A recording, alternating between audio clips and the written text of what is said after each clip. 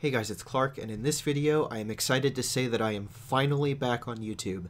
I just finished my first semester of college uh, as of this recording, and so now I have about a month, a little more than a month, to do pretty much whatever I want. So I'm going to make some videos for you guys. Now, before anybody gets too excited, uh, I do want to let you guys know that I'm going to need a few days to uh, record some videos because these last few months I haven't recorded anything. Uh, it's just been nothing but school and homework. So yeah, I don't have anything ready. so I'm gonna need, I'm gonna need a few days to uh, get some videos together for you guys.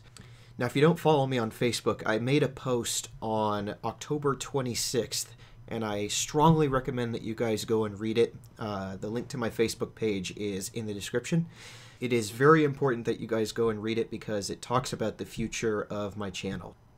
Now, I know a lot of you guys who subscribed to my channel during the last three months or so are probably looking forward to the next Dragon Block C video. I'm going to ask Owen if he has any interest in continuing our Dragon Block C series, but I am not optimistic that he will say yes. And if that's the case, I might try to make a solo Dragon Block C Let's Play. But I'm probably going to get his permission on that too because I don't want to uh, make him feel like I'm betraying him or anything like that.